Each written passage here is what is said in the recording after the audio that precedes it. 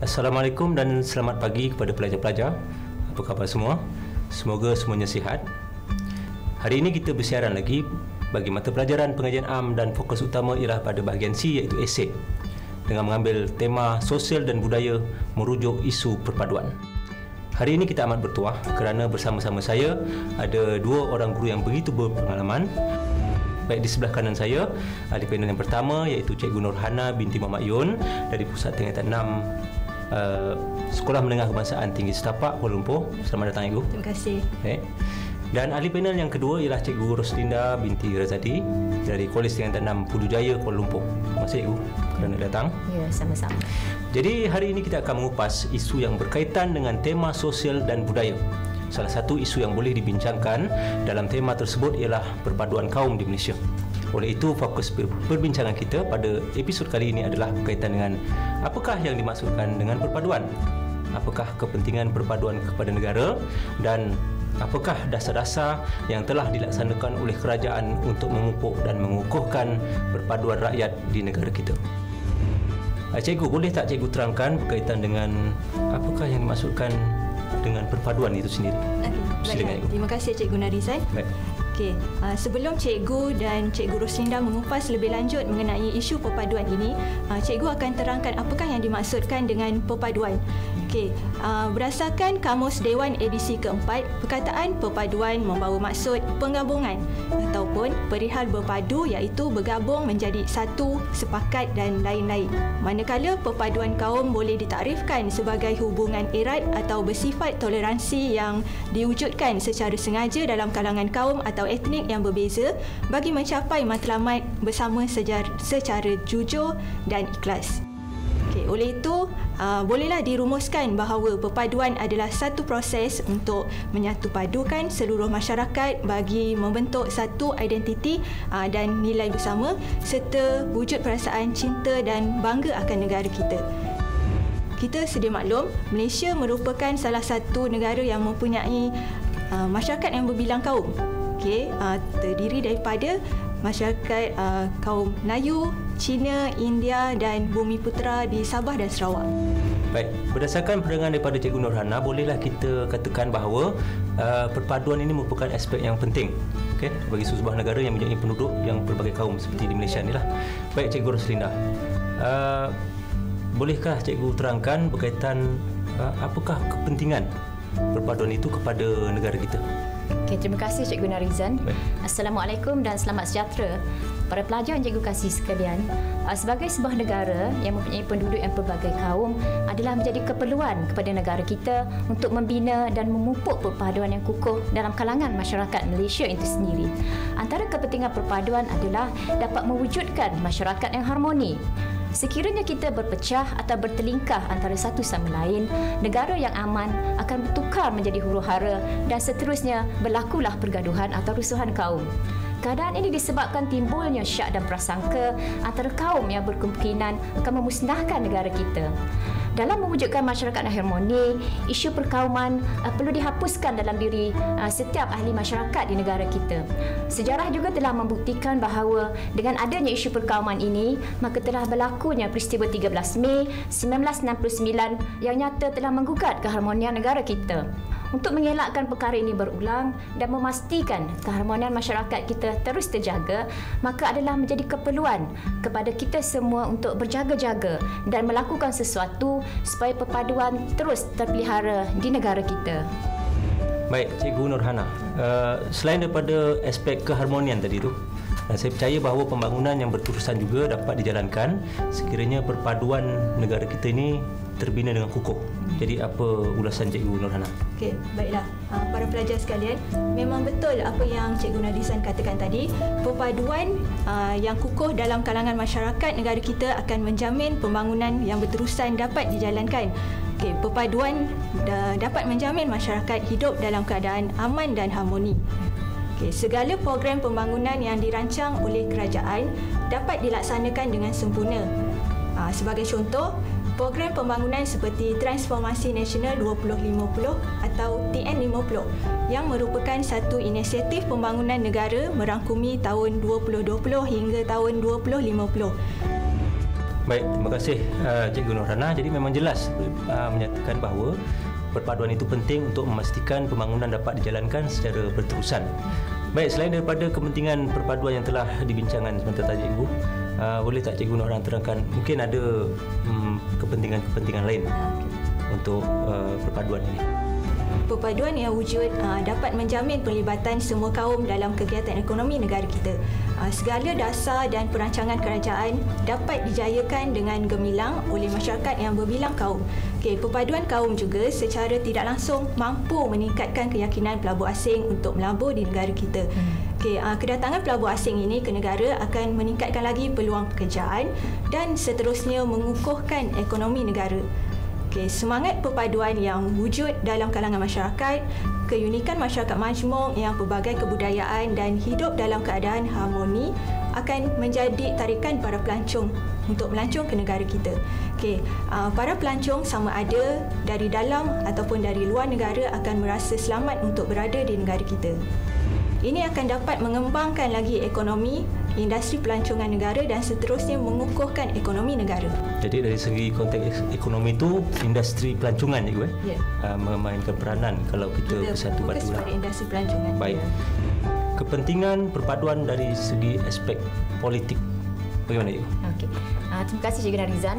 Para pelajar dan cikgu kasih sekalian, uh, perpaduan kaum amat penting untuk mengekalkan kestabilan politik negara kita keadaan uh, kestabilan politik yang terjamin uh, apabila masyarakat dan pelbagai kaum boleh duduk bersama-sama untuk membentuk uh, pentadbiran yang kukuh demi sebuah kerajaan yang cemerlang, gemilang dan terbilang. Uh, masyarakat dan pelbagai kaum ini juga akan sentiasa bersikap bertoleransi tanpa mewujudkan perasaan perkauman dalam diri mereka. Uh, pemimpin-pemimpin negara juga uh, tidak akan mengeluarkan pandangan yang boleh menjejaskan hubungan baik antara sesama kaum ini. Keadaan ini seterusnya akan dapat membentuk sebuah negara yang aman, harmoni seterusnya dapat mengekalkan kestabilan politik di negara kita ini. Baik, terima kasih. Jadi, pelajar-pelajar, nampaknya perbincangan kita semakin menarik. Jadi berdasarkan pandangan kepada kedua-dua ahli panel kita tadi jelas menunjukkan bahawa perpaduan amat penting kepada sebuah negara. Jadi tanpa perpaduan negara kita akan suka menjadi sebuah negara maju dan gemilang di mata dunia. Jadi Cikgu Nurhana, jelaslah bahawa perpaduan ini penting kepada negara kita yang terdiri daripada pelbagai kaum untuk mengukuhkan perpaduan apakah uh, usaha-usaha yang boleh dilaksanakan oleh pihak kerajaan? Mohon berikan pendapat cikgu. Baiklah para pelajar sekalian uh, disebabkan perpaduan ini amat penting dalam membentuk negara yang gemilang dan terbilang. Okay, maka pihak kerajaan telah merancang dan melaksanakan pelbagai usaha dalam mengukuhkan perpaduan Okay, antara usaha untuk mengukuhkan perpaduan ini adalah pembentukan ideologi negara iaitu rukun negara. Okay, uh, rukun negara telah diperkenalkan pada 1 Ogos 1970. Okay, rukun negara ini dibentuk dengan tujuan utama iaitu membentuk perpaduan yang kukuh dalam kalangan masyarakat pelbagai kaum di negara kita. Okay, uh, terdapat lima prinsip dalam rukun negara yang jelas merupakan kunci kepada keharmonian dan perpaduan kaum demi kejayaan dan kestabilan Malaysia. Okay, khususnya uh, merujuk kepada prinsip rukun negara yang kelima iaitu kesopanan dan kesusilaan. Okay, uh, prinsip ini amat penting dalam konteks mengekalkan keharmonian masyarakat yang berbilang kaum di negara kita. Okay, misalnya penggunaan bahasa yang lembut okay, dapat melahirkan nilai kesopanan dan saling hormat menghormati antara satu sama lain. Okay, selain itu, uh, kerajaan juga telah memperkenalkan pelbagai dasar dalam memperkukuhkan perpaduan di negara kita. Antaranya adalah dasar pendidikan kebangsaan, dasar ekonomi baru, dasar pembangunan nasional, dasar wawasan negara, dasar kebudayaan kebangsaan, dasar sosial negara, dasar integrasi nasional dan dasar sukan negara. Yeah. Okey. Uh, kita ambil dasar yang paling hampir dengan kita iaitu Baik. dasar pendidikan kebangsaan. Hmm. Okey, uh, dasar ini telah menjadikan bahasa kebangsaan sebagai bahasa pengantar di sekolah-sekolah kerajaan dan sekolah-sekolah bukan kerajaan. Okey, penggunaan bahasa kebangsaan ini boleh memudahkan komunikasi antara uh, pelajar pelbagai kaum. Okey, uh, kedudukan serta peranan bahasa kebangsaan dalam sistem pendidikan ini uh, dinyatakan dalam Perlembagaan Persekutuan Artikel 152. Okey, Artikel 152 ini telah mewujudkan satu bahasa kebangsaan iaitu bahasa Melayu. Ha, begitu juga dalam Akta Bahasa Kebangsaan 1967 yang telah menetapkan bahasa Melayu sebagai bahasa rasmi negara kita. Okey, uh, Akta Pelajaran 1961 pula menjadikan bahasa kebangsaan sebagai bahasa pengantar utama dalam dasar pendidikan kebangsaan. Okey, manakala uh, dalam Akta Pendidikan 1996 jelas bahawa kedudukan bahasa kebangsaan sebagai bahasa pengantar utama hanya untuk sekolah kebangsaan saja. Hmm. Okey, uh, manakala sekolah jenis kebangsaan pula dibenarkan menggunakan bahasa ibunda masing-masing. Tetapi bahasa kebangsaan wajib diajar di sekolah jenis kebangsaan. Baik cikgu Nurana. Ya. Uh, bahasa kebangsaan ini uh, sebagai subjek wajib. Apa Betul. keperluan?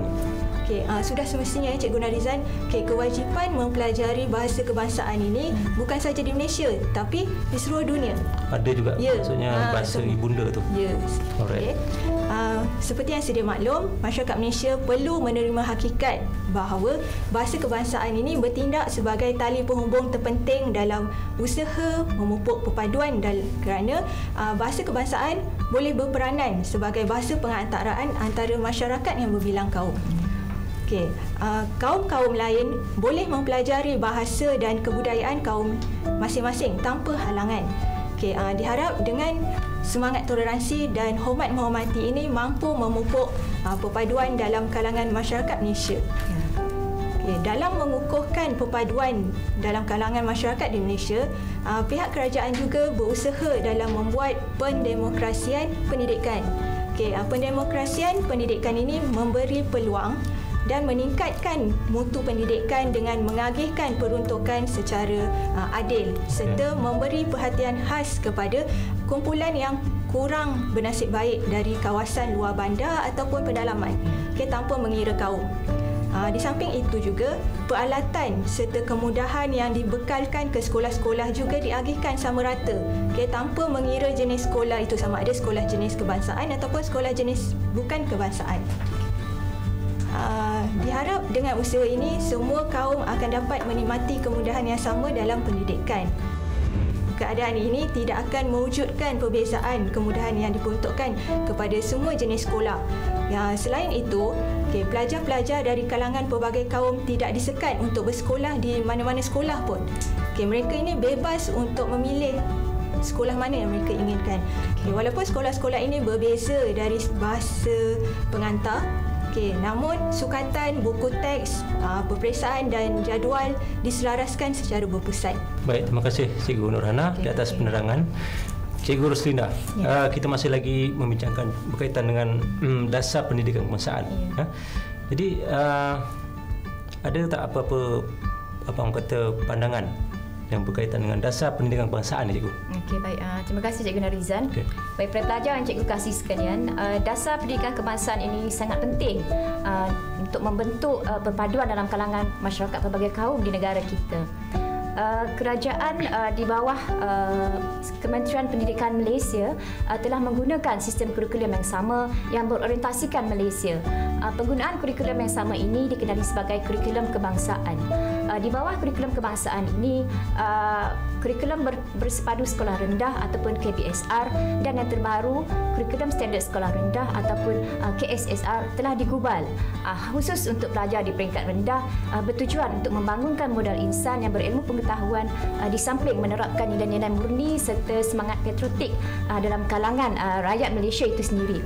Uh, begitu juga dengan uh, kurikulum bersepadu sekolah menengah ataupun kita kenali sebagai KBSM dan kurikulum standard sekolah menengah KSSM. Uh, kedua-dua kurikulum ini uh, sebenarnya merupakan uh, kesinambungan kurikulum sekolah rendah yang menekankan pendidikan seimbang dan bersepadu dalam kalangan pelajar peringkat menengah. Melalui kurikulum yang sama ini, asas perpaduan dapat dipupuk semenjak dari alam persekolahan lagi.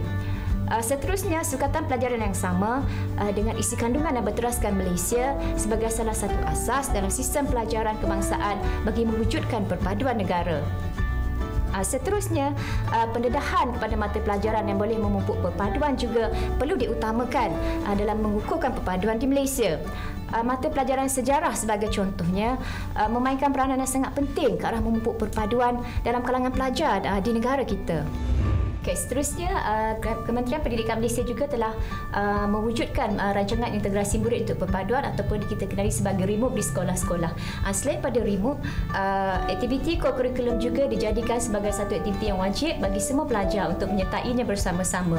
Uh, selain daripada itu, uh, pihak Kementerian Pendidikan Malaysia juga telah mewujudkan sekolah wawasan uh, di mana konsep sekolah ini ialah uh, tiga buah sekolah uh, jenis kebangsaan akan diletakkan di sebuah kawasan yang sama dan uh, mereka akan berkongsi kemudahan dan prasarana yang sama seperti kantin, uh, dewan dan sebagainya.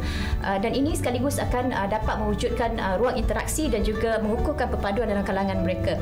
Dan akhir sekali uh, pihak kerajaan juga telah memperkasakan sekolah kebangsaan uh, dengan tujuan untuk menjadikan sekolah kebangsaan ini sebagai pilihan utama uh, uh, ibu bapa uh, pelbagai kaum ya, untuk menghantar anak mereka ke sekolah sekaligus menjadi satu medium yang sangat baik untuk mengukuhkan perpaduan dalam kalangan anak-anak kita.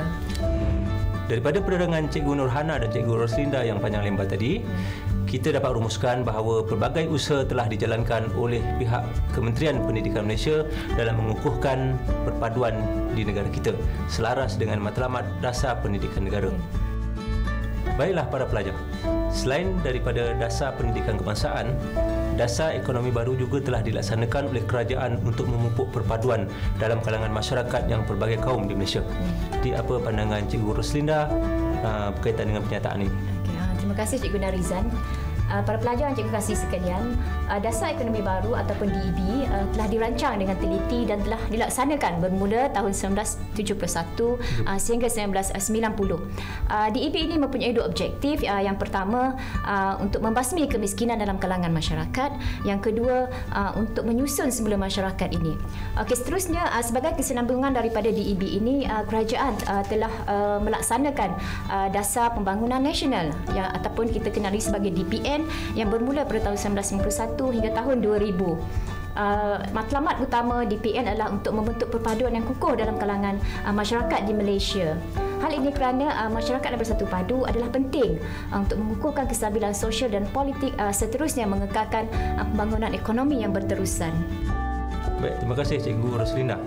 Berdasarkan uh, uh, dasar yang telah dibincangkan tadi, adakah terdapat uh, dasar-dasar lain Cikgu Nurhana uh, berkaitan dengan bagaimana kita kerajaan memperkukuhkan perpaduan kaum di Malaysia. Baiklah, terima kasih Cikgu Narizan. Okay, para pelajar yang dikasihi sekalian, okay, kerajaan telah memperkenalkan dasar wawasan negara iaitu hmm. DWN yang telah dijalankan dari tahun 2001 hingga tahun 2010. Okay, dasar wawasan negara adalah gabungan teras kritikal dasar pembangunan DEB dan DPN uh, dengan tujuan mewujudkan bangsa Malaysia yang bersatu padu, progresif dan makmur yang dapat hidup dalam suasana harmoni serta ikatan perkongsian yang saksama. Okay. Strategi pelaksanaan dasar wawasan negara adalah membasmi kemiskinan dalam kalangan masyarakat, menyusunkan semula masyarakat dan merancang pembangunan yang seimbang dalam kalangan masyarakat yang berbilang kaum di Malaysia. Baik, terima kasih Cikgu Nurhana. Jadi para pelajar, terdapat tiga dasar telah dibincangkan oleh ahli panel kita iaitu dasar ekonomi baru, dasar pembangunan nasional dan dasar wawasan negara. Ketiga-tiga dasar ini jelas menunjukkan betapa seriusnya pihak kerajaan dalam usaha memupuk perpaduan dalam kalangan masyarakat berbagai kaum di Malaysia. Selain daripada data tersebut, uh, mungkin ada dasar-dasar lain cikgu yang boleh cikgu terangkan. Ya betul. Okay, uh, kerajaan telah memandang serius berkaitan dengan isu perpaduan ini. Okay, oleh itu, kerajaan telah memperkenalkan dasar kebudayaan kebangsaan. Objektif utama dasar kebudayaan kebangsaan adalah mengukuhkan perpaduan negara menerusi satu corak kebudayaan nasional. Okay, dasar kebudayaan kebangsaan menekankan tiga prinsip utama iaitu berteraskan kebudayaan rakyat asal rantau ini, uh, unsur-unsur kebudayaan lain yang sesuai dan Islam menjadi unsur penting dalam pembentukan kebudayaan kebangsaan. Baik, terima kasih Cikgu Nurhana. Uh, Cikgu Roslinda, mungkin uh, dasar sosial negara ini juga merupakan satu usaha kerajaan untuk membentuk perpaduan dalam kalangan masyarakat kita. Uh, terima kasih Cikgu Narizan. Uh, sememangnya betul ya. Uh, dasar sosial negara juga uh, penting untuk memupuk perpaduan kaum uh, di negara kita. Uh, dasar sosial negara ini mempunyai objektif iaitu uh, menjamin setiap individu, uh, keluarga, uh, komuniti tanpa mengira kumpulan etnik, agama, uh, budaya, gender dan fahaman politik serta wilayah menyertai dan memberi sumbangan kepada arus pembangunan negara serta menikmati kesejahteraan hidup secara berterusan. Uh, selain dasar sosial negara, uh, dasar integrasi nasional juga sangat penting ya dalam usaha kerajaan memupuk perpaduan dalam kalangan uh, masyarakat pelbagai kaum di negara kita. Uh, dalam uh, dasar integrasi nasional ini dibentuk dalam usaha untuk mencapai uh, empat objektif yang paling penting ya.